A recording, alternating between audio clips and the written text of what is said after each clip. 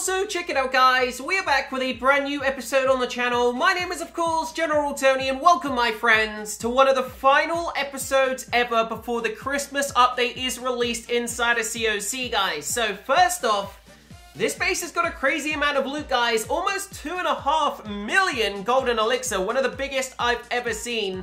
If you take a look at the top left hand side, you can actually see it guys. So for anyone who doesn't know, just before we get into this attack, yesterday Supercell released the very first sneak peek inside of the COC update that's going to be coming out next week, guys. We're going to talk about that and show what it is in a few seconds. Before we do that, guys, we've only got a couple of days to max out this base, so I'm going to try my very best to see if we can max out this entire base, guys, in the next week.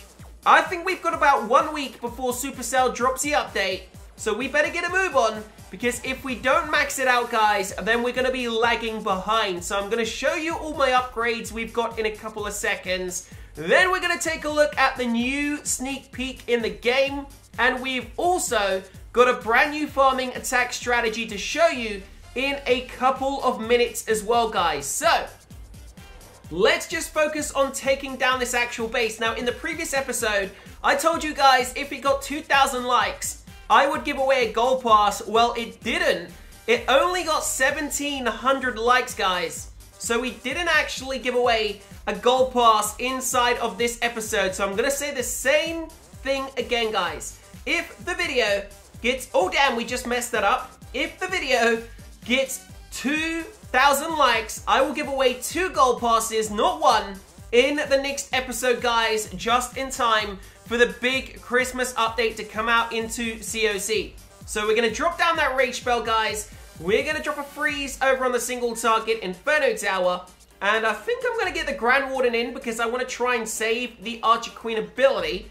I don't think we're going to need to use it anyway, guys. And the Queen looks like she's doing a really good job at taking out all these buildings, guys. So, we're going to get all the other troops in. We've already got two Super Wall Breakers anyway. Unfortunately, we are all out of freeze spells. So I am going to have to use the Grand Warden's ability if the Queen is in trouble. But we've only got 20 seconds. Wow, what has happened? I didn't realize, guys. I must have, um, I must have been talking for a long time. I didn't even realize we were low on time. So let's just drop in everything. Let's pop the Queen ability. We didn't even manage to grab half the loot, which really sucks. We've still got so many troops left alive, guys. But I just took too long with that actual Queen Walk, and we only got about 1.3 million plus a 97% bonus. So I suppose it wasn't too bad, guys, and there's a star bonus as well. So what we're going to do, we've actually got a new attack strategy. We're going to show you what it is. If we jump down the bottom, guys, this is what we're to do to max out this base in the next couple of days. So first off, we're to drop some gold, and we're to upgrade another wall. And now we're to see what we've got left to upgrade, guys. 54 level 13 walls. That's all we need to do. That's it. Let me know if you are almost maxed out down below in that comment section. If you're not, let me know what town hall level you are, guys. So we are also upgrading four archer towers, but everything in the base is already maxed out, guys. So, if we jump into our quick train, this is going to be my new strategy. Army number five and it only costs 128,000 elixir, guys. So it costs seven and a half thousand dark elixir. It is really expensive for dark elixir, but we do not need dark elixir. We've actually got over 400,000 and we've got a rune of dark elixir inside of our magic items as well, guys. So I'm not going to be using any of my elixir really. I'm only using a small amount and of course we are going to be saving as much gold as possible and upgrading as many walls as quickly as we can guys.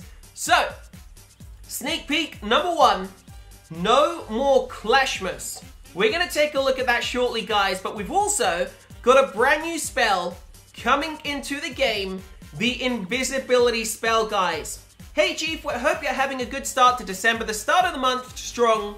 We have news to share about a brand new spell coming to Town Hall 11, and it upgrades to new levels at Town Hall 12 and Town Hall 13, a plethora of quality of life changes and more, guys. So we're to go through this really quick because we need to get back to farming, guys. So let's take a look at the actual new spell. What does it do? Invisibility spell renders everything under its aura invisible. The effect type is a splash, so that means it covers quite a wide area, guys. Housing space is only one, and the brewing time is three minutes, guys. So it's basically a Dark Elixir spell. It only takes up one housing space, which is amazing. We are also getting new levels to the Dark Spell Factory, which I'm presuming are because of this spell, guys. So that's cool. New level to the X-Bow, Giant Bomb, Air Bomb, and the Royal Champion is going up to level 25, which means we will need our Dark Elixir. So, level 25 Royal Champion, costing 295,000 Dark Elixir, guys. Seeking Air Shield ability is going to level 5, and we are also getting some game changes, war, balance changes, and gameplay. Season challenges, Supercell ID, and miscellaneous down the bottom, guys. So we're not going to go into all that. So I'm not really sure what this means, guys. We're actually going to go ahead and check out the video, but let me know down below in that comment section what you actually think about that, guys. No more Clashmas inside of COC. I think it's just like a troll video, but I'm not really too sure. Let me know your thoughts and opinions down below. So right now, that is the end of sneak peek number one. Do we actually have a new Christmas tree in our base yet? I can't see one, guys. I don't think we've actually got one. So I don't know if anyone's got one yet, but it's been a couple of days since that Christmas tree was actually released. So let me know down below as well. Do you have one of those brand new Christmas trees or is it not coming? I'm not really too sure. So we're going to sell that power potion and we're to jump straight back into the next live attack, guys. So we're to get rid of this army, and then we will be returning to the Dark Elixir strategy, which I just showed you costing 7,500 Dark Elixir. So I want to try and upgrade as many walls as possible, guys, by the end of today. I'm to try and get between 6 and 7 walls upgraded today, guys. That's to cost me about 30 million. So that means we need to farm up 15 million golden elixir if we're going to be able to upgrade 6 or 7 walls a day for the next couple of days. I'm also going to drop a freeze spell on that defending royal champion. I tried to save the queen's ability, guys, but it didn't work. We're going to drop the X-Bow, drop the air defense, and the dark elixir drill.